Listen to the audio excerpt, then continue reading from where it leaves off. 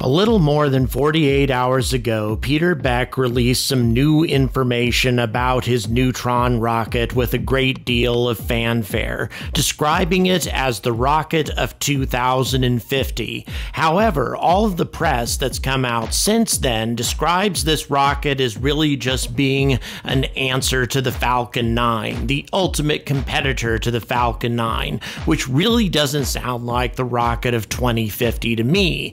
Instead, Instead, it sounds like a rocket that's going for very conservative objectives, very low payloads, and really not what Starship is at all, which is supposed to be the rocket of the future, according to Elon Musk. A rocket that lifts tremendous amounts of weight, not only to low Earth orbit, but far beyond, whereas Neutron lifts a mere 8 metric tons to low Earth orbit, 15 metric tons in fully expendable mode. So, what exactly makes this rocket the rocket of 2050 when it's only really supposed to be competition for the Falcon 9?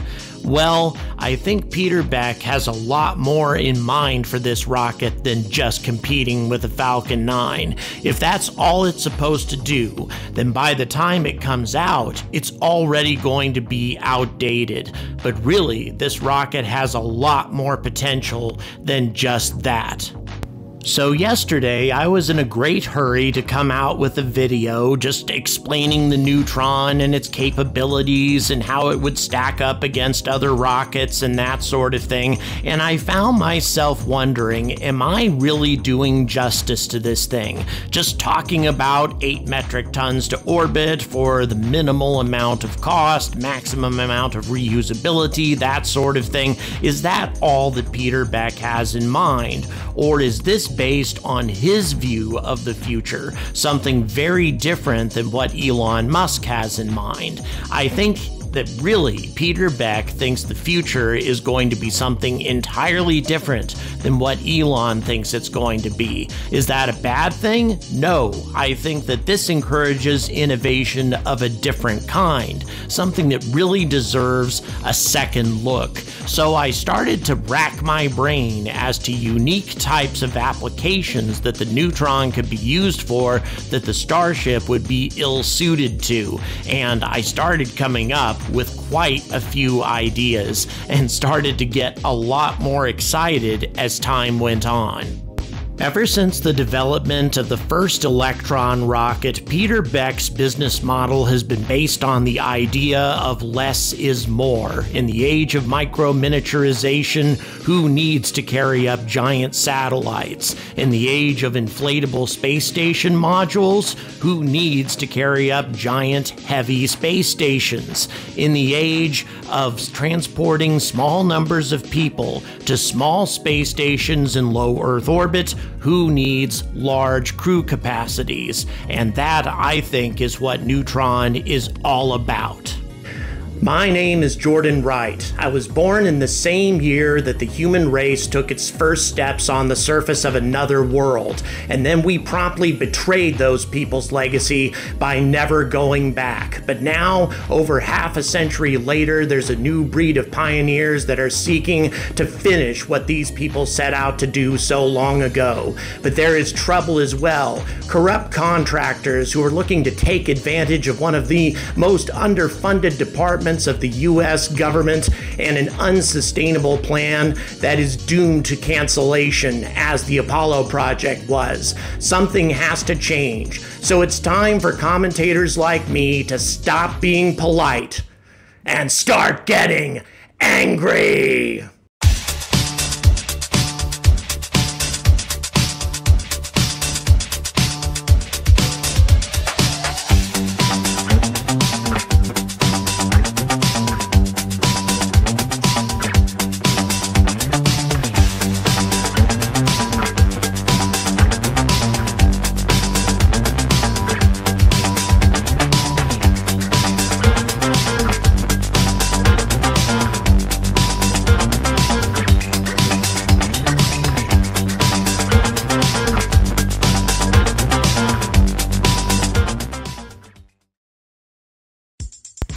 There's probably been two dozen videos released about the capabilities of Neutron since this video first came out, but still, I think I would be doing you guys a disservice to not at least talk about it. Unlike Falcon 9, this rocket is bigger at the base than it is at the top, 7 meters in diameter, whereas the Falcon 9 is only 3.7. And this is because it has fixed landing legs as opposed to retractable landing legs, giving it not only a more secure base to land on, but also better wind resistance when it's re entering, therefore having to use less fuel to decelerate. Also, it has a second stage that is not really directly connected, but rather hangs inside the first stage with a single engine. So it has a lot of design differences from the Falcon 9, and the second stage is also extremely light. It's designed to be expendable currently, but I can guarantee you that this second stage will ultimately be reusable just as the upper stage on the Vulcan is. As a matter matter of fact, Rocket Lab recently received a sizable sum from the U.S. Space Force to design an advanced second stage along these lines. So the whole expendability thing is going to be short term. But the whole idea of nesting the second stage inside the entire rocket rather than making it a separate piece of the upper stage, I think is sheer genius, especially considering that the fairings are actually attached to the first stage and not the second, therefore allowing the fairing to be completely reusable. It also has a 5 meter internal, internal fairing diameter, which is a little bit larger than the Falcon 9 and also fits a number of applications better than Falcon 9 does. You'll notice that I'm making comparisons with Falcon 9 right now, but I'm eventually going to move on from that topic. Now, another thing everybody is talking about is materials, obviously, because Peter Beck threw some shade at SpaceX about the whole stainless steel thing, demonstrating how it's not going to hold up to impacts very well. Not that impacts are really a frequent occurrence when you're going to low Earth orbit, although with what the Russians did recently, who knows. But I think what he's trying to emphasize is that the materials of the future are carbon fiber, and he's also emphasizing that Rocket Lab does a better job at mass producing carbon fiber than just about anybody else. And given the number of electrons that this company churns out at such a low price, I think he has a powerful argument to be made. In addition to that, it does make a difference as far as mass is concerned. Even though Neutron is 7 meters in diameter at the base as opposed to 3.7 for the Falcon 9, it weighs 69,000 1,000 kilograms less. Now, that makes a substantial difference as far as the thrust it requires to get it to low Earth orbit, the amount of energy it requires, and the amount of work that the engines have to do in order to achieve orbit. And this is another point that Peter Beck made. He's not trying to get engines that perform at 105 or 109% of capacity, but rather underperform. In other words, don't tax themselves, and so therefore will be more reusable, will last longer. And with a very lightweight rocket, you can accomplish this. Now, the initial thrust of seven Archimedes engines is actually substantially less than that of the nine Merlin engines of the Falcon 9. However, in the second stage, one Archimedes engine actually substantially outperforms the Merlin at 1.1 million newtons as opposed to 980,000 newtons or so. And given the fact that the second stage is much, much lighter than the Falcon 9 second stage, this gives capacity as far as multiple uses in orbit once it achieves that. That's why I think this second stage is ultimately going to be reusable as a tug or something along those lines. So let's get into some of the applications here. Some of the obvious applica- applications, of course, are constellations of small sats and that sort of thing, the thing that Rocket Lab is famous for. But he's also talked about interplanetary travel and even human space travel. But before we get into that, I want to talk about something that Rocket Lab did not discuss in this presentation, and that is cleaning up low Earth orbit with a recent partnership that they formed with Astroscale. And by the way, I'm trying something different now. I'm introducing a new subtopic that's going to reoccur a lot in my videos crisis in LEO, because as far as I'm concerned, this is a situation that needs to be talked about over and over again. Because after this disastrous Russian anti sat test, the situation in low Earth orbit has become a crisis indeed. Peter Beck has obviously realized that his plans to establish small sat constellations in low Earth orbit, and indeed his whole business model, isn't going to amount to a pile of dog sh- unless he proceeds with cleaning up low Earth orbit. And this re- recent partnership with Astroscale is going to accomplish this, or at least hopefully it will in time. And the Neutron is ideally set up to do this. Let me explain how. Now, some of you may be sick of hearing about Astroscale, but I believe that this is the company that is the most likely to be able to take care of our problems in low Earth orbit as quickly as possible, simply because it already has a functioning prototype in orbit that has recaptured a client satellite. It works, it's functional and ready for mass production.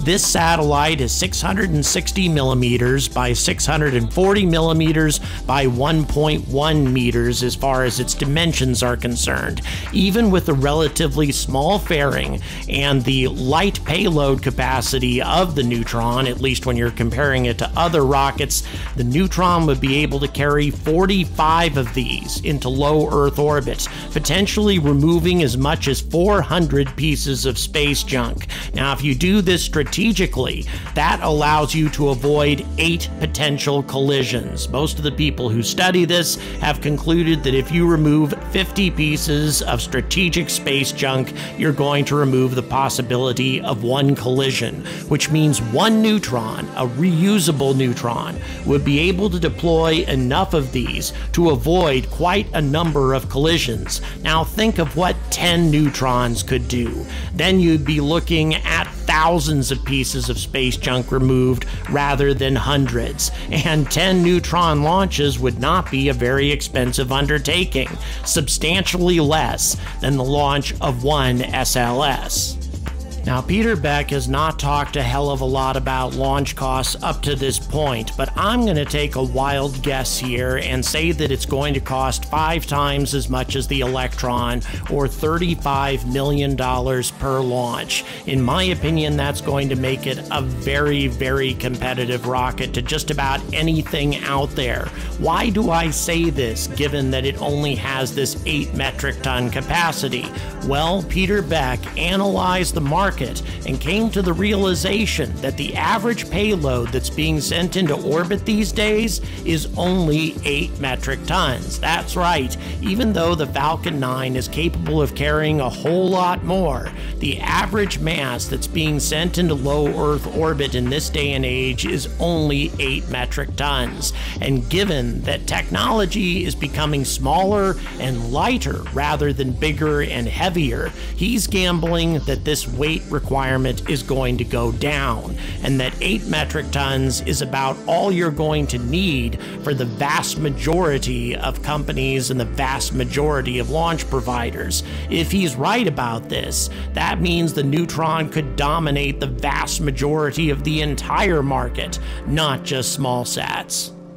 And why am I estimating such a low cost per launch? Well, it's because of how small the cost is per launch, first of all, for the Electron, which is also comprised of carbon composites, but also it's because so much of the Neutron is reusable. Only that tiny second stage is lost, and as you can see, the vast majority of the rocket, including those giant fairings, which a lot of you guys have found to be very familiar as of late, are all recovered. Really, the only thing that is, quote, lost, unquote, is that second stage. And in my opinion, that second stage is going to be able to carry out secondary missions after the first launch anyway. And so launch costs may come down even further, perhaps 25 million or 20 million per launch, capable of doing things like that astroscale mission that I talked about for a ridiculously low price compared to what's available today.